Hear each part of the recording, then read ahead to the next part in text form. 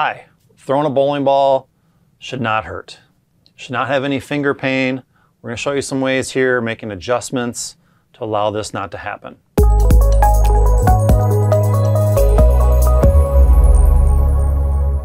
My name is Scott Pohl. I'm a three-time USBC Eagle winner. First of all, we're gonna start with a bowling ball that fits well and I don't feel a lot of stress or pain in my hand. Well, how can I do that? Number one, I'm gonna do a ball check here real simple. I'm gonna take a ball, was drilled for me. I'm gonna put my hand in there, fingers and thumb, and I'm just gonna let it hang at the side of my body. So number one, I don't feel a lot of stress when I actually do this. It just sits on my hand.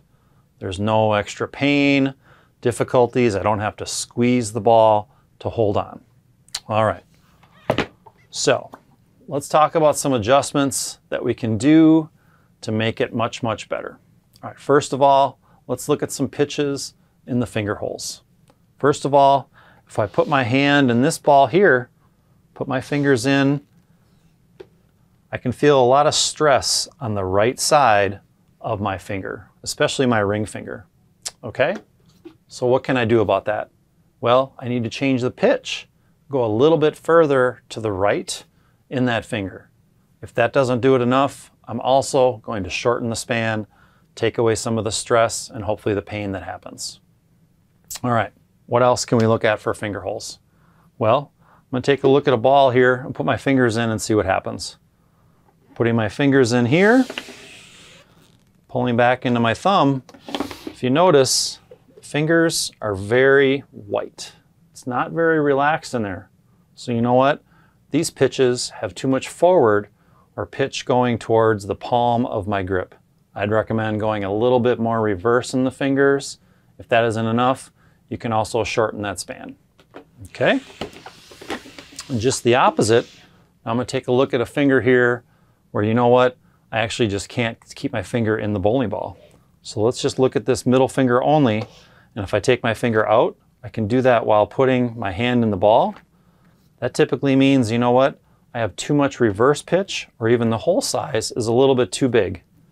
That's gonna cause me to squeeze the ball. A lot of the time you're gonna have finger pain. You know what? It's not a good thing to happen. All right, what's other things we can check?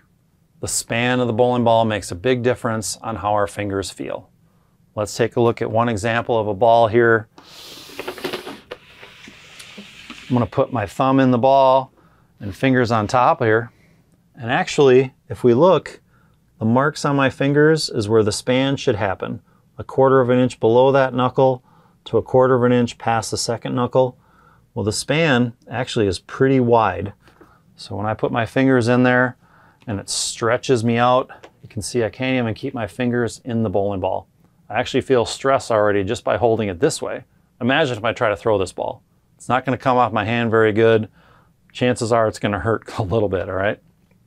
Okay, so what should happen when you put your hand in a ball with the right span, you can feel where the span and you fit fairly flat on the bowling ball, okay? This is kind of a nice relaxed fit. There's no real extra stress. You can't really see anything pulling my hand or anything like that, and it sits very natural on there. All right.